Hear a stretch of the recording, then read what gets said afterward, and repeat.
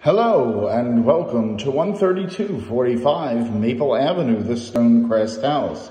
And we're in apartment 310, a nice size studio with good closet space. As we enter the apartment, we enter through the foyer area, which has two California style closets where you can adjust the shelving. Here's another one to the right and we enter into the main living space, which is large enough for a bed, a couch, a sleeping and living area. To the left, we have the bathroom and another closet over here. Lots of shelving in there that can be adjusted if you wish. And our bathroom is sparkling white with herringbone marble flooring and a good sized vanity with storage in it. I'll let you take a peek at that. There's also storage underneath the sink. And let's pan back around to the entry area.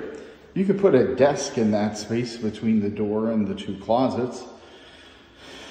So many people working from home these days. Let's pan around and move towards the front of the unit, facing the interior courtyard of the building. The kitchen is fully equipped with a full-size dishwasher, stove, microwave, and a Blomberg top fridge and bottom freezer. It's a really nice appliance package. And we'll pan back around so you get a view from the front to the back.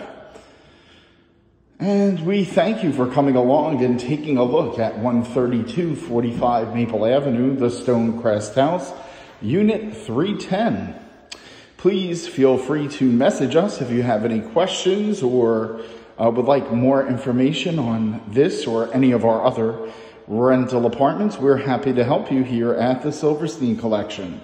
You can reach out at rentals at silverstein.com, silversteincollection.com, that is.